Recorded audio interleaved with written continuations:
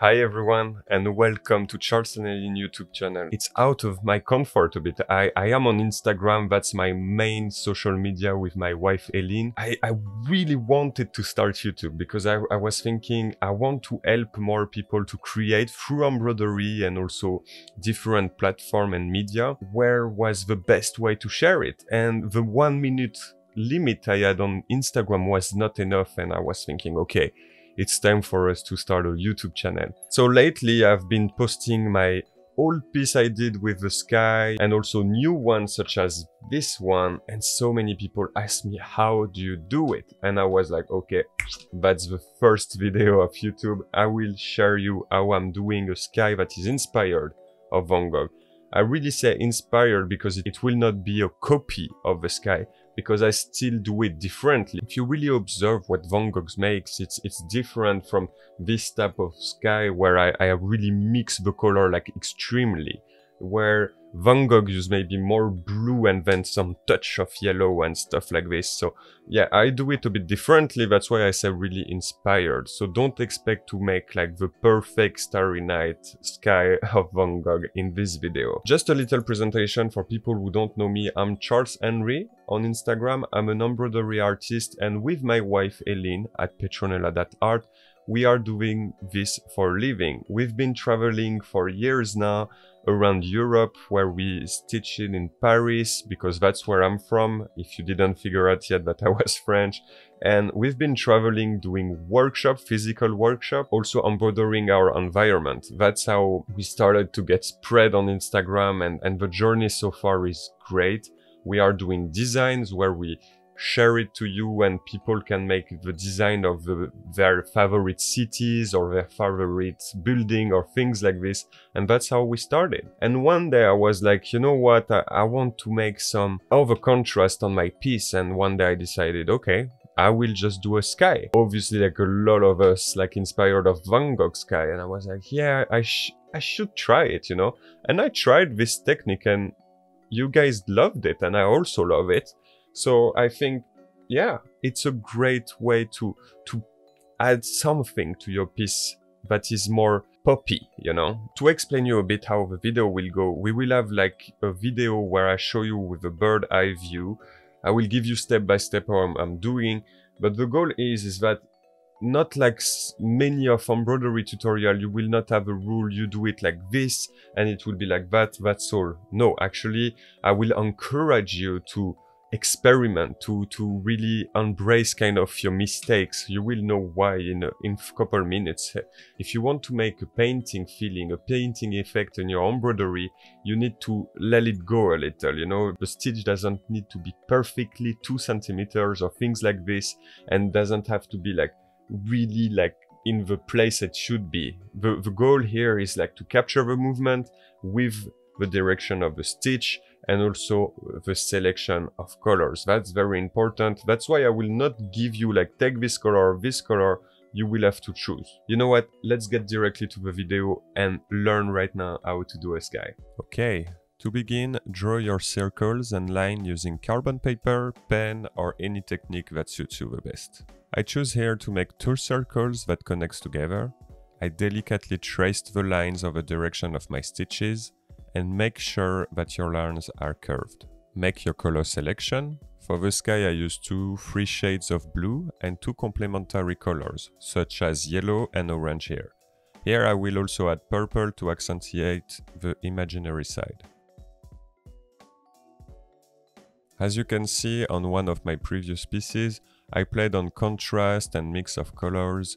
What will create the movement of your sky will be the direction of your stitch and the amount of color that will change at each part.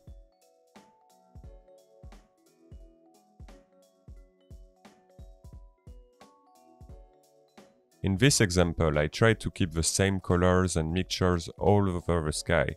The only thing that makes the movement of the sky is the direction of my stitches. I think this method is less efficient. The first example is the best and that's what we are going to do today. To get a better idea of what I'm going to mix the colors together, I always start by embroidering the circles, at least one. Then I follow the curve gradually to build my colors.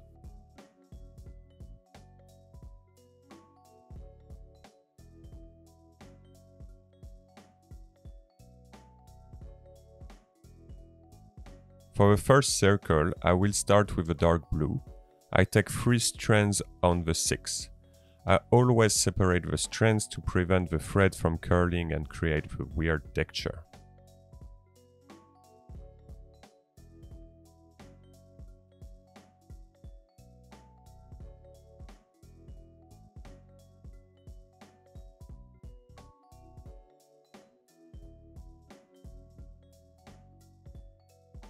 I make two knots and put my thread in the needle.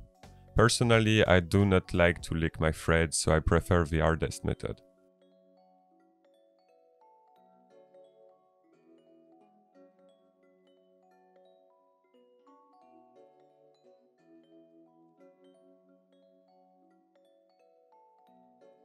Start with the outside, make stitches of about a centimeter, Take a centimeter of space to start your overstitch, embroider as if you were making a snail shape. The closer you get to the center, the smaller stitches you make.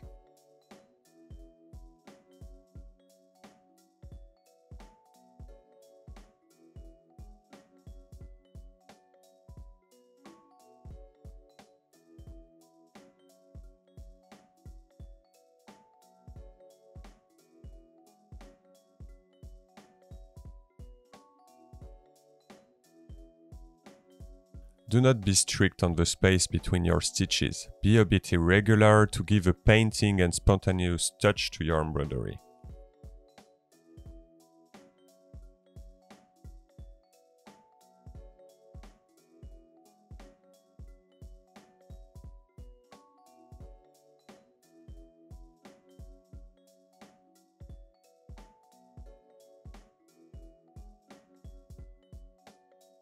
Make a knot in the back using your thread and not the fabric.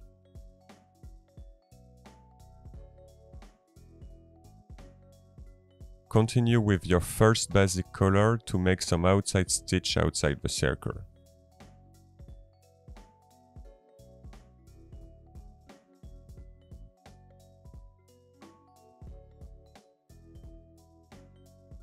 Then take a new color in this case, I take a light blue that I will separate into three strands and do the same principle I showed previously.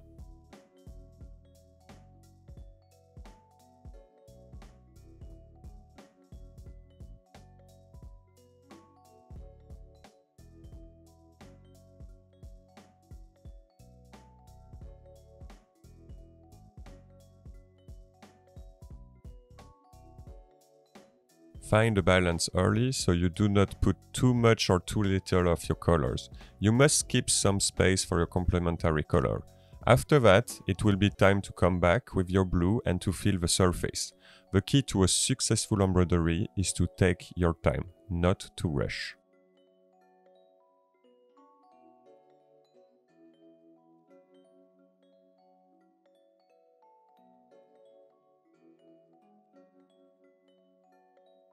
Now it's time to choose your complementary color. For me it will be yellow, free strand.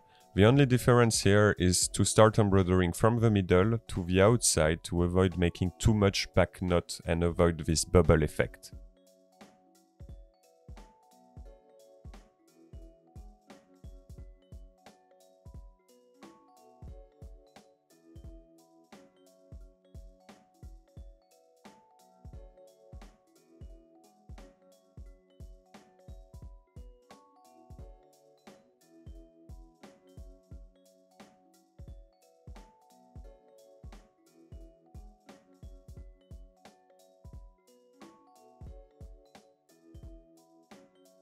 Now you can continue in the same principle outside, being careful to follow the direction of your line. You can vary by adding another blue or a near blue color as the purple show on the example.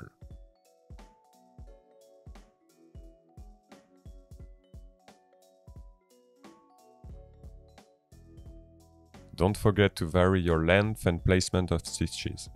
You don't want your embroidery to be too stiff but on the contrary, you want an effect that is closer to the spontaneity of a painting.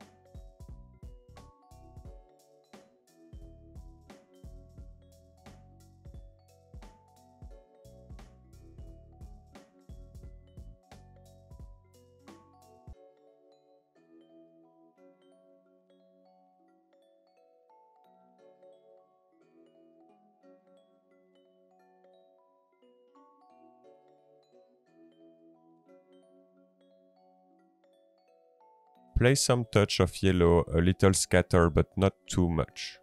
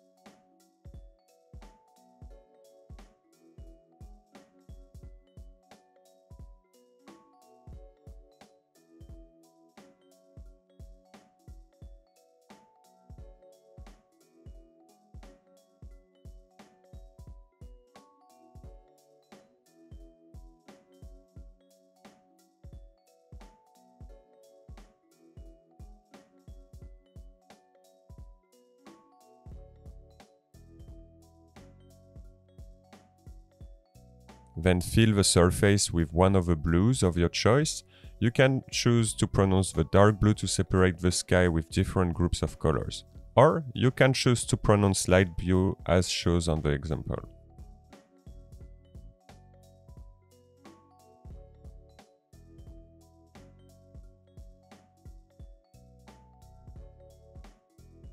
What will create the different contrast of your sky is the amount of color that you choose to highlight. I invite you to look at my Instagram to take the time to look at how I proceeded for my skies and get inspired.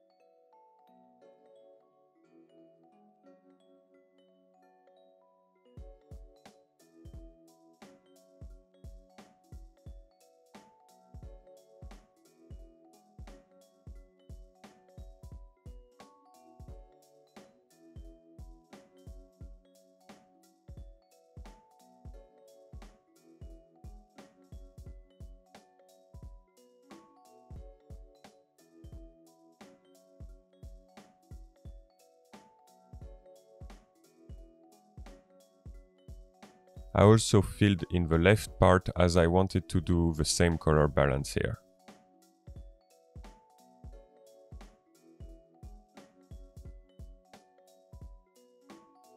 Now I'm going to do the second circle. The principle remains exactly the same for all the sky. What you will have to decide is the color selection. Feel free to have fun and take unexpected colors. For the bottom of my sky, I will stay on shades of blue with orange to vary a little.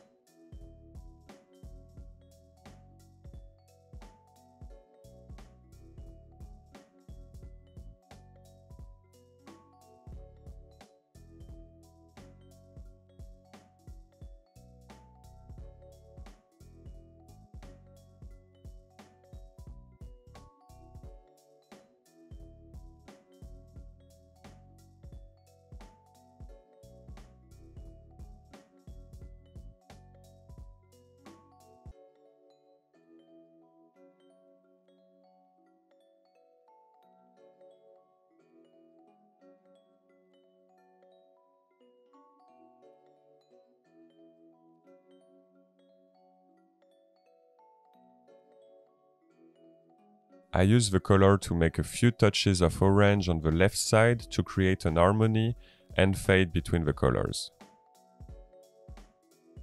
My color dominance in this circle will be light blue.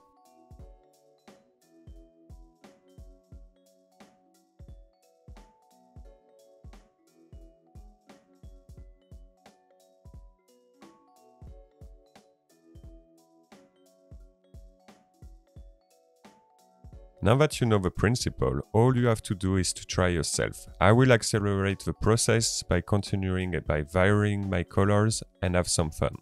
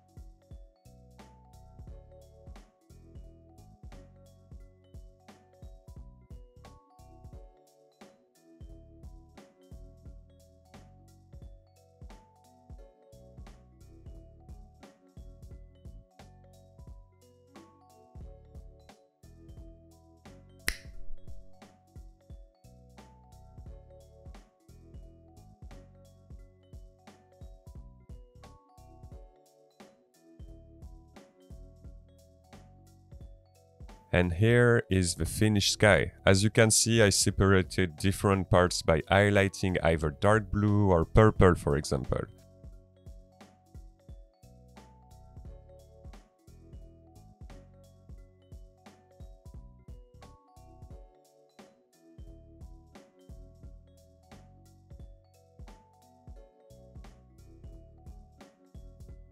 Now you are ready to do your own wonderful sky. okay guys, thank you so much for watching. I really appreciate that you take the time to watch this video. I hope it was fine. I mean, it's the first time, so I'm, I'm new at this and I will learn by making better videos with time. I really hope you got the point and if you have any question, feel free to send me an email at charles at charlesandelin.com. I'm also responding to my message on Instagram. I try at least the best as I can do.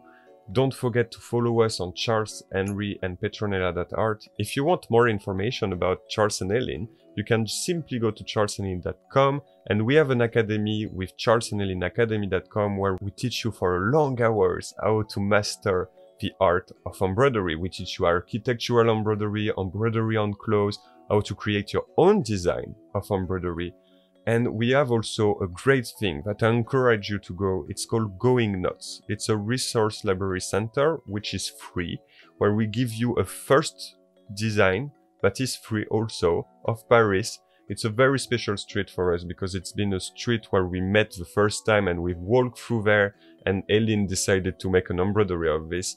And it's a great way to start embroidery and to know if you like it or not you will see like if you never did embroidery before, it's an amazing way to relax, to meditate, to learn patience, observation. I really encourage you. We have also close-up videos and stuff like this. You have everything below in the description. And don't forget to subscribe. If you can let a like or a comment will be amazing too. And I see you next time. Ciao.